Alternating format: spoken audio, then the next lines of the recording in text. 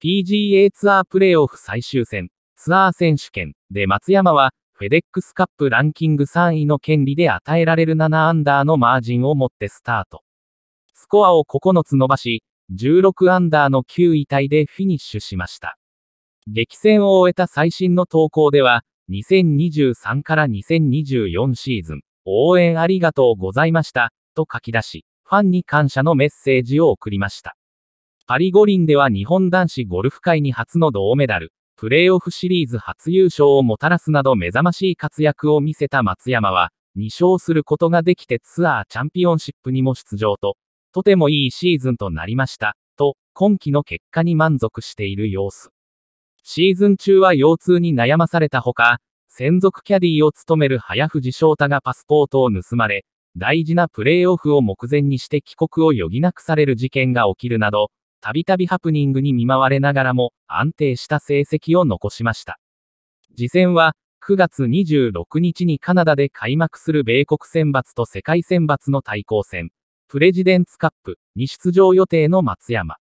最後は、また来シーズンに向けて頑張ります。と意気込みを語り締めくくられたこの投稿には、渋野日向子、武田レオ、宮里優作、小平聡ら男女のトッププロから、いいね、が届きました。ファンからも、たくさんの勇気と感動をありがとうございました。ゆっくり休んでください。来シーズンも楽しみにしてます。など数多くのリプライとともに、1万件を超える、いいね。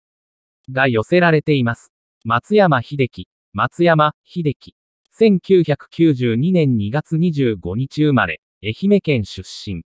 2013年にプロ転向し、同年は4勝を挙げてツアー初のルーキー賞金王に。14年から米ツアーを主戦場に戦い、21年のマスターズで日本人男子初の4大メジャー制覇を達成。同年は日本開催の ZOZO チャンピオンシップを制した。24年、パリ五輪では日本男子ゴルフ初となる銅メダルを獲得。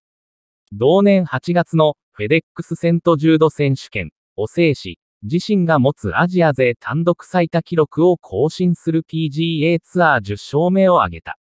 日本ツアー8勝、レクサス所属。